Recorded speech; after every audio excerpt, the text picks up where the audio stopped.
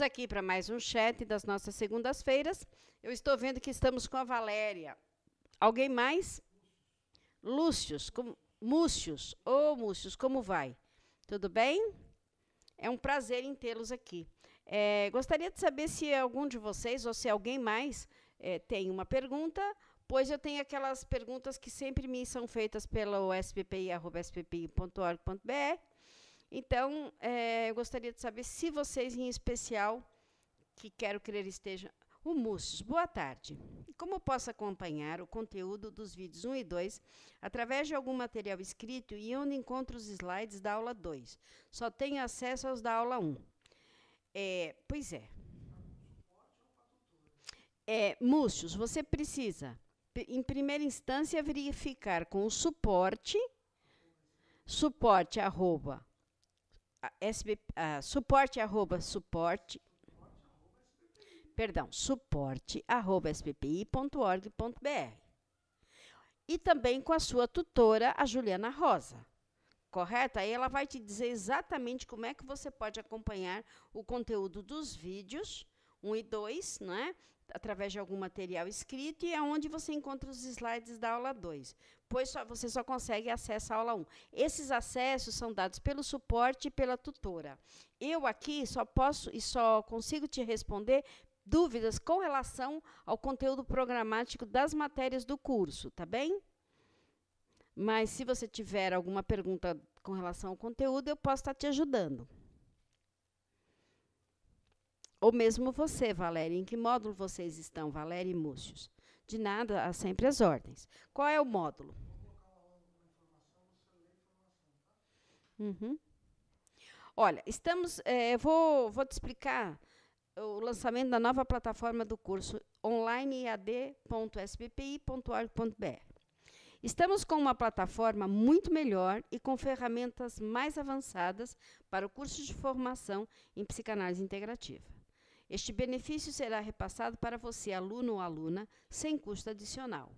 Seu curso será migrado após poucos para a nova plataforma. Após cadastrar-se na nova plataforma, será enviado um e-mail para que você atualize seu cadastro dentro da nova plataforma. Se necessitar, agende um horário para conhecer melhor este novo serviço. Envie um e-mail para suporte@sbpi.org.br, agendando um horário de atendimento, ok? A migração dos alunos será no máximo em 120 dias. Então é importante para vocês que estão aí, sabendo que nós estamos com uma plataforma e uma plataforma melhorada. E, e a cada dia o curso IAD ele vai ser melhorado sobre todos os aspectos, porque é, não é porque o curso já está aí, não é gravado, que ele vai ficar dessa forma. Não, ele terá sempre melhoras, até porque, não só porque a psicanálise vai se é, transformando, mas também como as, as formas da internet também vão melhorando a cada dia. Então, fiquem atentos ao iad.sppi.org.br, que dentro de 120 dias nós já teremos uma migração total e os alunos que entrarem já entrarão nessa nova plataforma, tá certo? É, gostaria de saber se tem mais alguém online, além da Valéria, do Múcios, e falar, uh, comentar com a Rita Orsini, que me perguntou, eu estive sexta-feira no local do nosso congresso de outubro, e sim, é, está tudo adaptado à acessibilidade. Aliás, para todos que queiram saber, se pessoas com necessidades especiais, nós vamos ter plataforma de entrada no prédio, estacionamento, elevador e banheiros com acessibilidade. Portanto, aqueles que quiserem participar do congresso e necessitem da acessibilidade, é, o congresso acontecerá vocês têm um site que diz onde ele acontecerá, aqui em São Paulo, e nós já temos um convênio com o Hotel Estela, no Paraíso, para as pessoas que vêm de fora de São Paulo, que têm um interesse em ficar aqui em São Paulo e pagar menos no excelente hotel próximo ao Congresso, é o Hotel Estela, também entrem em contato conosco, que nós vamos passar os dados do Hotel Estela, na estação Paraíso do metrô, nós vamos estar na Cardeal Arco Verde, né, como estivemos os outros anos todos, filmando esse congresso, inclusive. Então, vocês sabem que para os alunos e ex-alunos o valor é 300 reais, ok? É, vamos ver se nós temos mais alguma pergunta aqui. Acredito que não, não é? Semana passada, eu tenho alguns e-mails ainda para responder, porque são bastantes e às vezes a gente não consegue dar conta de tudo isso. É, eu recebi algumas perguntas sobre ah, as ideias do Jung. É, assim, basicamente, eu posso dizer que uma das perguntas era aonde Freud e Jung conflitaram. Olha, eles conflitaram em muitas coisas, mas eu acho que cabe lembrar que era o momento em que a psicanálise estava nascendo a partir de Freud, não é, e de todos os pós-freudianos e pré-freudianos, se é que eu posso falar isso, não é? Pelo menos com quem Freud se, se, quem Freud leu, é, como era o cenário de Viena no momento do nascimento da psicanálise, isso é importante. É, como nós encaixamos no mundo, o mundo das ideias, o Freud e o Jung. Então, assim, particularmente, tanto se nós olharmos, é claro que nós vamos ver a, o ser humano, Freud, o ser humano Jung, e, e, as suas particularidades de seres humanos, depois de, de intelectuais, depois de psicanalistas, para depois nós podermos falar da obra.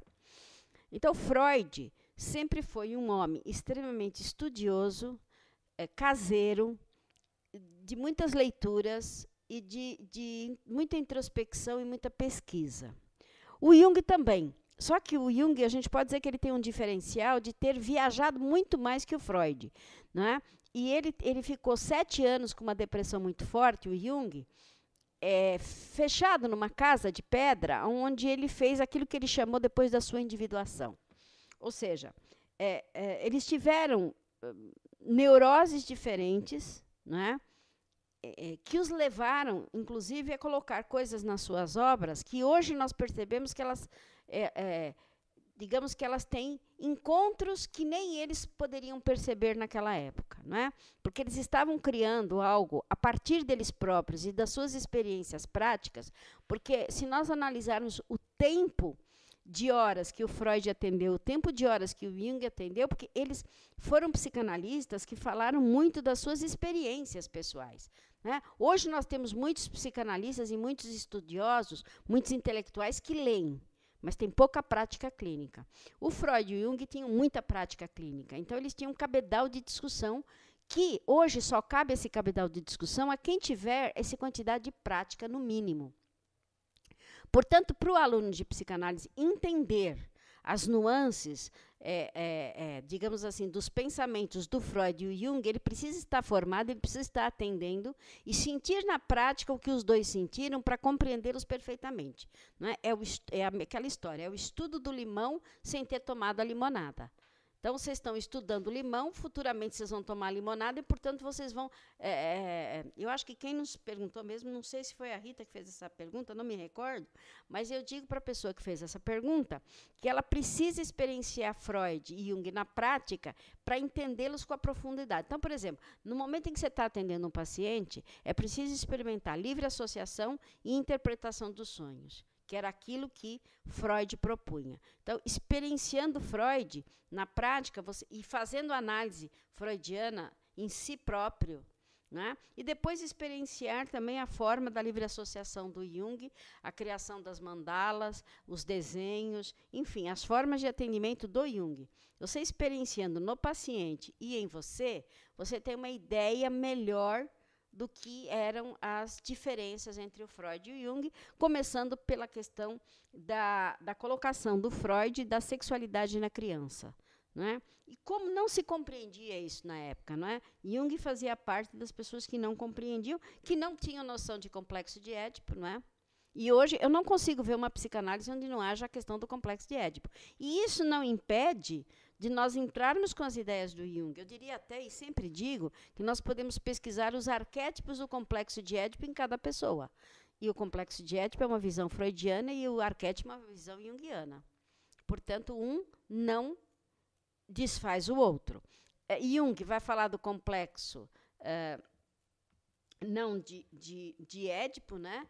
É, vai falar mais do complexo feminino, no qual o Freud não concorda, mas cabe a nós, psicanalistas da nova era, nos nossos consultórios, darmos é, passagem a esses grandes nomes e depois que nós atendermos, é, experimentando isso nos nossos clientes, nós podemos validar ou não essas teorias como práticas clínicas. Então, a validação passa pela prática. Né? A validação nossa passa por uma prática clínica que se observa tanto em nós mesmos, né, quando nós estamos nos submetendo a uma análise freudiana ou uma análise junguiana, e quando nós submetemos os nossos pacientes às mesmas coisas, ok? Espero que tenha ficado clara a explicação. É, houve uma outra pessoa que me fez a pergunta por que, que é obrigatório fazer terapia no curso de psicanálise, tanto no presencial quanto no online. Olha, é, essa obrigatoriedade parte da própria matéria. Né? Além de ser uma exigência de todas as sociedades de psicanálise mundiais, ou seja, não é uma exigência brasileira nem da SBPI, é, faz parte da formação. Ou seja, a, a ideia é a seguinte: se você não tem os seus conteúdos trabalhados, então vamos supor, o paciente chega e diz assim para você no consultório: Olha, Fátima, eu quero matar a minha mãe. E aí eu respondo assim: tá bom, então olha, pode matá-la com veneno, com uma injeção que vai mais rápido. Em psicanálise, esse meu comportamento vai ser chamado de contratransferência. Ou seja, eu também tenho um problema com a minha mãe, também tenho vontade de matá-la, então eu aconselhei, eu não fiz terapia. Isso não ocorreria se eu tivesse feito análise e trabalhado a minha mãe. Por isso, a análise torna-se obrigatória. Um psicanalista, para poder ser clínico, ele tem que estar com os conteúdos de base. Ele não vai estar 100%, ninguém nunca estará 100%. Mas os conflitos básicos nos quais a psicanálise está assentada, haja visto o complexo de Édipo, a castração, no mínimo nós precisamos ter consciência dele. Se ele não está totalmente trabalhado, nós temos que ter consciência. Como é que nós podemos saber se isso está é, trabalhado? Quais são os reflexos do complexo de Édipo? Não é o complexo de Eletra que Jung falava, é o de Édipo. Ora, a, as pessoas com um complexo muito grande, elas têm, por exemplo, uma alta competitividade, mas uma competitividade assim altamente exacerbada. Então, por exemplo, se essa competitividade diminui, o complexo está sendo resolvido. Então, haverá sempre um resquício? Haverá.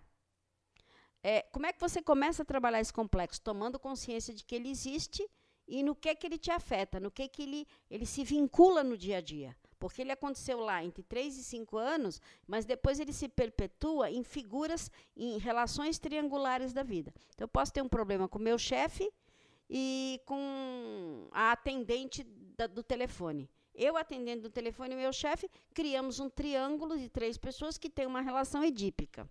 E aí não importa quem é homem, quem é mulher, que assume papéis, mas pode ter a ver com a competitividade. E nós vamos competir às vezes de uma maneira desleal em função do complexo de Édipo. Portanto, nós psicanalistas é exigido que façamos 100 horas de análise no mínimo. Isso é o mínimo, gente.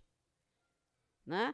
E o máximo é o resto da vida, porque nós vamos ter pacientes, vamos precisar de é, é, orientação, né? nós vamos fazer supervisão clínica. Depois que nós estamos formados, ninguém nunca sabe de tudo. Sempre vai surgir um paciente que nós vamos precisar de uma orientação. Então, claro, 100 horas agora e depois vamos fazer aquilo que a gente chama de manutenção, ou seja, análise existencial, que é a análise dos, das questões do nosso dia a dia.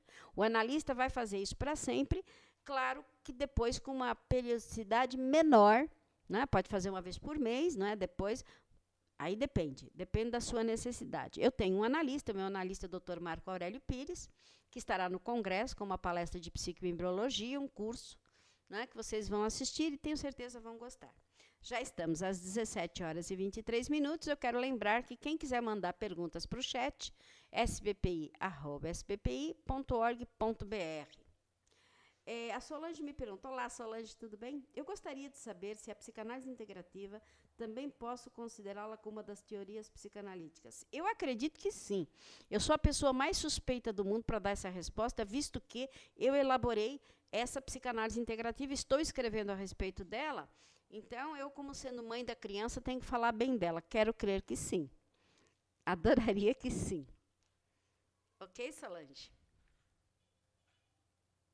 Espero que seja uma teoria para conciliar os psicanalistas que andam brigando por aí, achando que as teorias não têm condição de se fundir, principalmente o Jung e o Rasch, esses tão proscritos, que, a meu ver, temos que sempre tirar o melhor de cada um. Obrigada. É que eu gosto muito de fazer o que eu faço, não é? Eu gosto muito da psicanálise, né? Eu gosto muito de levar isso para as pessoas e tenho muita consideração e muito respeito pelos alunos, não é, que estão aí tentando ser psicanalistas para ajudar este Brasil, este povo que tanto necessita do carinho e do cuidado de cada um de vocês. Tenho muito, muito respeito por vocês.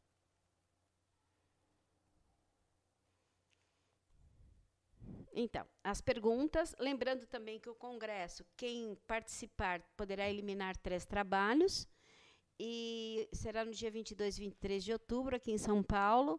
Quem precisar de hotel, nós temos o Hotel Estrela, que dá desconto, não é? é basta nos mandar um e-mail também para sbpi.sbpi.org.br e o Paulo depois está colocando aí um e-mail especial para vocês falarem sobre congresso, tá bom, gente? Além da Solange, não é? Além do Múcius, além da Valéria. Será que nós temos mais alguém hoje no chat?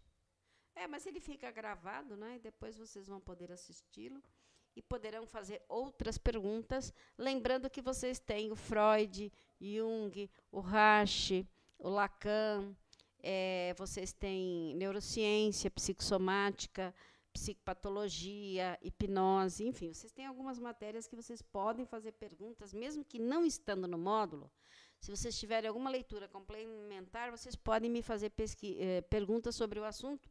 Que eh, neurociência eu não sei muito, mas o que vocês perguntarem eu vou pesquisar. Não é bem a minha área, né? Conheço pouco, mas o suficiente para poder passar para vocês, tá bem?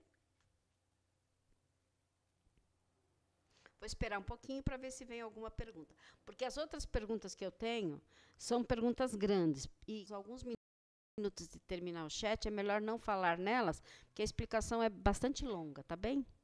Podem ficar para a semana que vem, se também não houver. É que vão chegando mais e-mails, né?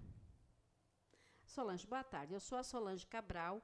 Estou realizando o curso de psicanálise oferecido no site da Sociedade Brasileira de Psicanálise Integrativa e de, gostaria de saber se posso considerar o curso de psicanálise integrativa como também uma teoria psicanalítica, porque estou interessada em realizar cursos na área da psicanálise integrativa e também o curso de teoria psicanalítica. Sim, você pode considerar uma teoria, uma teoria que preconiza algumas questões, principalmente a questão de usar Freud, Jung e Reich como teóricos que se complementam que pode poder, até porque os, nós não temos psicanalistas freudianos, nem psicanalistas junguianos e nem psicanalistas lacanianos. Nós temos pacientes que necessitam de interpretações e de demanda de, de manejo daquele ou aquele autor. Ou seja, há pacientes que demandam um manejo dos sonhos, outros demandam um manejo da mandala, outros demandam um manejo da terapia corporal a Reich. Então, essa também é uma das bases da psicanálise integrativa. Portanto, Solange, sim, pode considerar uma teoria de psicanálise. Tá bem? Temos dois minutos para encerrar o nosso chat. Se alguém tiver uma pergunta, eu terei muito prazer em respondê-la.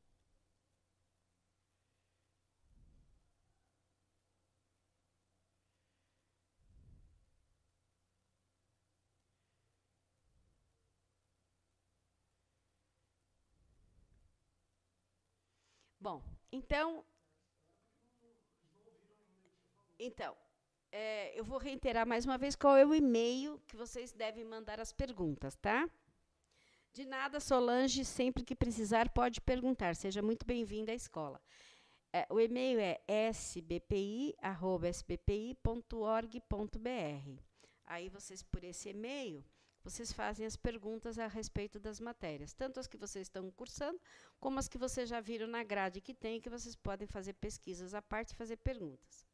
Como eu já disse, neurociência eu não tenho assim aquela neurociência e psicofármaco. São duas matérias que são muito uh, teóricas, Né? E aí elas cabem realmente eu trazer, por exemplo, a matéria. Se vocês me fizerem perguntas de psicofarmacologia, eu vou precisar trazer a relação dos psicofármacos até para responder para vocês, porque tem muitas fórmulas químicas é, bastante, bastante difíceis, não é? Claro, nós não vamos receitar, mas precisamos conhecer tudo aquilo que o nosso paciente toma, que foi receitado pelo médico psiquiatra, e saber quais são os efeitos né, nas suas sinapses.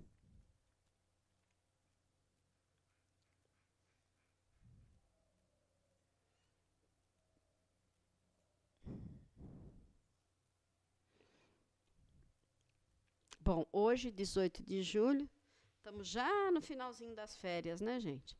Já já voltam as aulas. Não para nós, né? Que a gente continua aqui. Mas, como não há mais perguntas, eu vou encerrando o chat aqui, agradecendo a presença de vocês e aguardando na próxima segunda, no mesmo horário, 17 horas. Obrigada, até logo.